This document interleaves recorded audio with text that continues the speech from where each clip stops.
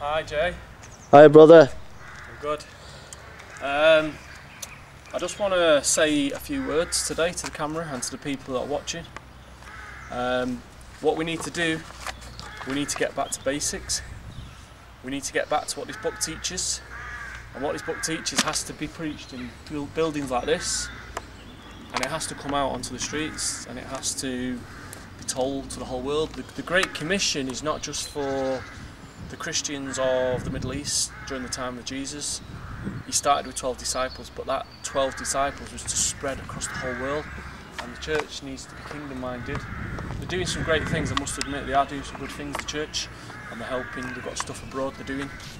Uh, you know, they're helping, there is a lot of ministries out there that are preaching the gospel, but as a whole, um, the churches that are not doing it need to be doing it, and they need to get back to this book and to stand on the word of this book and not not be frightened of it. Be stand, don't be ashamed of the gospel, because Paul wasn't ashamed of the gospel.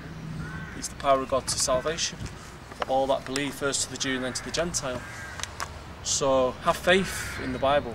The Bible will be attacked, it will be hit hard, but Jesus said, um, "No one is above the master." He said, "If they hated me first, and they persecuted me, they'll persecute you as well." But that's part and parcel, and it's, it says in the Bible to be a good soldier of Jesus Christ is to suffer, suffer as a soldier for Jesus Christ.